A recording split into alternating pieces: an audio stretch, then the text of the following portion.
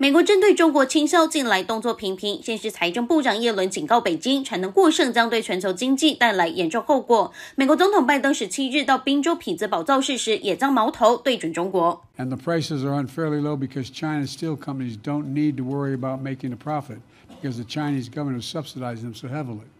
They're not competing; they're cheating. They're cheating. 拜登不仅言辞批评中国行为，更提出多项反制的贸易措施。Look, right now. My U.S. Trade Representative is investigating trade practices by the Chinese government regarding steel and aluminum. If that investigation confirms these anti-competitive trade practices, then I'm calling on her to consider tripling the tariff rates for both steel imports and aluminum imports from China.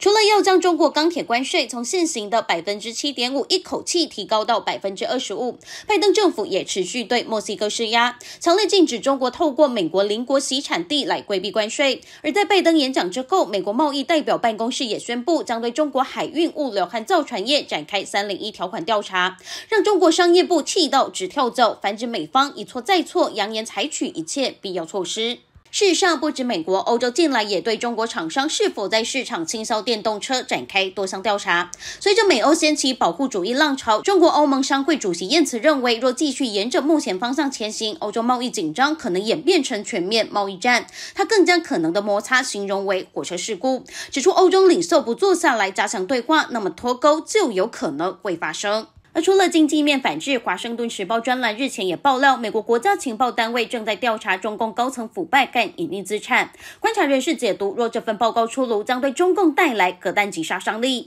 而在经济已不见起色的情况下，也势必会威胁其政权合法性。系统新雅整理报道。